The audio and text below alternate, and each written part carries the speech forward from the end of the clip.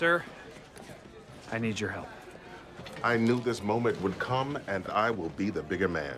I'd be happy to help. Great. We need a doctor here immediately. We have to get your ex-boyfriend. I will not help you. Things did not end well between Frederick and me. Ooh, why not? Dish, sir, dish. Gina, no. I can't believe I'm saying this, but we simply don't have time to hear about the captain's sordid romantic past. What have you become? A hero in a time of crisis.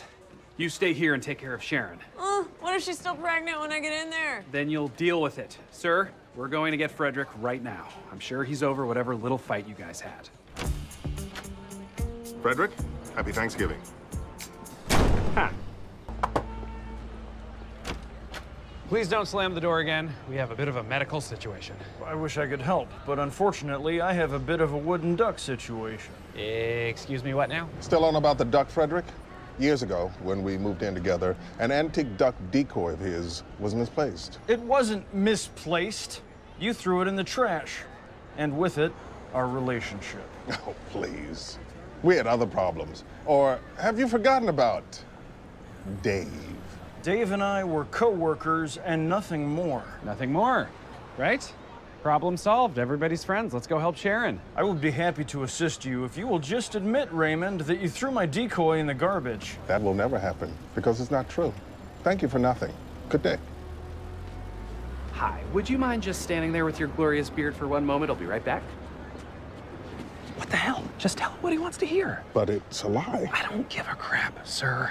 Sharon needs a doctor, so get over yourself and tell him you threw away his stupid duck. And give him 20 bucks to buy a new one. It costs $740. What? That is an insane price for a duck. That's way too much. All right, now I'm angry about the wrong thing. Look, just fix this for Sharon.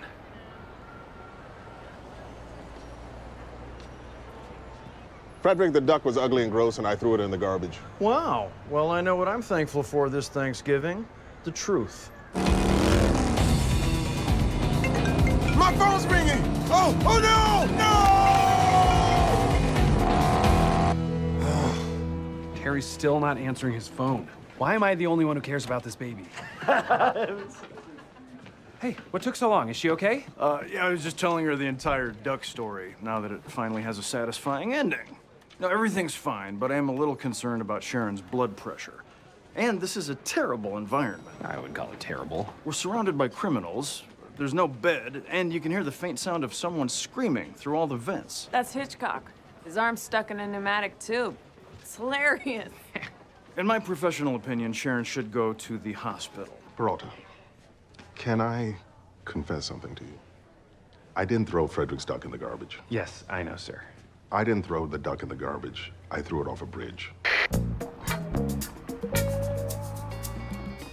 Why would you do that? Well, Frederick and I were having problems. He knew I disliked the duck because of its weak beak, but he insisted on displaying it anyway. I acted out in a petty manner, just as I did today. I'm sorry that I wasn't more helpful. It's fine. I understand. You might find this hard to believe, but I can be a little childish sometimes myself. Yes. You have gum in your hair right now. Noted. These spindles are gorgeous. And there's almost a feeling of musculature to this transition. The oak just sort of told me the shape before I even got to the spoke shave. This underbevel is a great trick. It really makes it feel lighter while leaving you plenty of beef to carve. It's really just a modified Danish lime. Still, you made it your own. This is as good a chair as I've seen. I have nothing left to teach you. Hurrah! Thank you. Look at us, taking a class, open to new things. See, aren't you glad that I picked the art of bread? They said there was a special guest teacher. I wonder who it is. I know who it is. Jackson Boudreau. No way! From Extreme Bread? We watch that show all the time. I, I make his bread all the time. I eat his bread all the time. He's so much more than bread. He's worldly and spiritual. All I know is the episode where he rolled naked in breadcrumbs sent me to heaven. There he is. Be cool. Be cool. I am Jackson Boudreau, and this is the art of bread. Bread making, love making. What's the difference? Nothing. We need both, and we need both. Manly. so let's make love, everyone. By which I mean bread. And then we'll make love again, by which I mean more bread. Now, who's horny? For bread.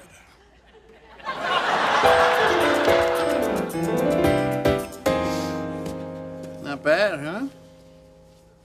Are you making an ashtray? No, it is a bread bowl. And you know who will know that? Jackson Boudreau. Mmm, I love your ashtray. Thank you very much. You've been rough with her. I like it. I sense you are a woman of contradictions. No, I'm not. What? Wait. Oh, I guess I am. Delightful. I would like to spend time with you. Me? I love that as a question. Just one thing, though. I hate the term celebrity, but I'm a very big one. When things end up in the tabloids. I hate gossip more than anyone. I heard it ruined Ben Affleck's marriage. You are damaged in the most beautiful way, aren't you? I am. We will be in touch. Now you go bake that bad girl. She's not bad. She's just misunderstood.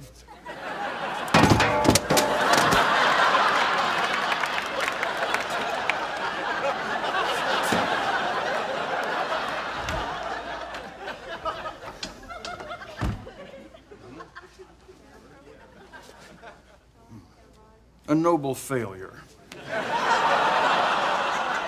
Permission to bake. Hmm. That's quite a loaf you've got there.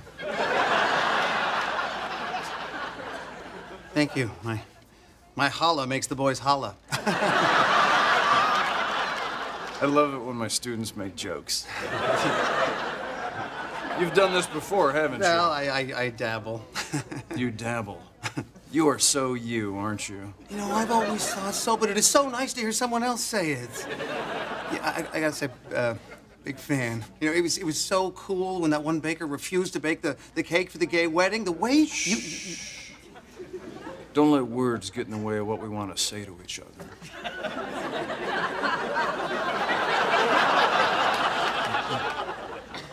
Uh, That's right. Oh, yeah. I would like to spend time with you. I, I feel the same. You won't tell anyone, okay? I don't know anyone.